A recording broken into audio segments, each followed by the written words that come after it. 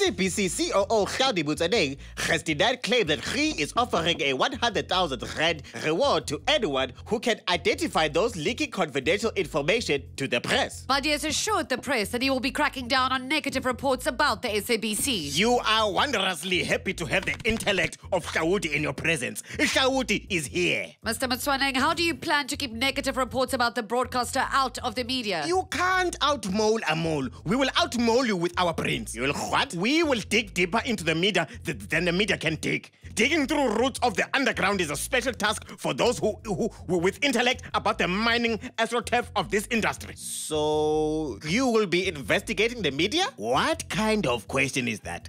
Hmm? How do you even get your journalist job? Did you matriculate through the school of jokers and, and, and sommeliers to say silly things and call them questions? This is going nowhere. Let's end this painful interview. Aha! This just proves that you are not a member of the listening classes. Negativity is the root of all the deviants with no intellect like Hlaudi, and the youth cannot stand for it any longer. Why don't you care about the youth? Hmm? Hmm? Hmm? Why don't you care? Why? Why? But Hlaudi, I do care about the youth. Not like Hlaudi. Hlaudi's intellect cares best. Media needs Hlaudi like icing needs cupcakes. Media needs Hlaudi like hula hoops needs little girls. Like fish needs chips. Like like like dish ran away with a spoon. What is a dish without a spoon? Hey, hey, absurdity. You don't know the answer. You don't know. But I know the facts because I'm Hlaudi. Number one.